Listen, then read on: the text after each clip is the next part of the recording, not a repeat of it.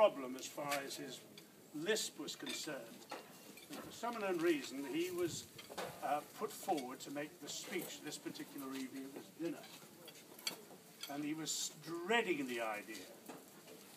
But the time came where Jimmy had to stand up in front of all these dignitaries in America and stood there, paper in hand, nothing was said about 30 seconds, and all of a sudden Maxie started clapping and said, Jimmy, that's the best bloody speech ever.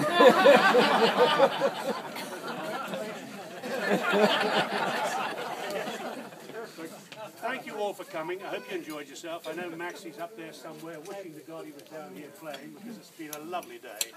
And hopefully next year we will have another day that's equally as good.